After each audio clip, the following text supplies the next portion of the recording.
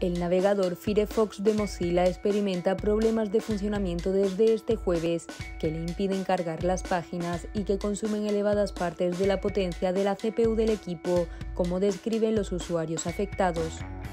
Multitud de usuarios de Firefox de todo el mundo, incluyendo a España, han denunciado este problema a través de redes sociales y foros como Twitter y Reddit, después de comprobar que el problema no procedía de su conexión a Internet, sino del navegador. La mayoría de los internautas ha experimentado también problemas de ralentización en el funcionamiento del equipo debido a que el navegador comienza a usar una elevada cantidad de recursos de la CPU en lo que describen como un bucle infinito. De momento, Mozilla no ha proporcionado datos sobre los problemas de servicio de Firefox. En su página de estado de los servicios en la nube informan de que todos se encuentran activos actualmente, pero esto no afecta al software del navegador en sí.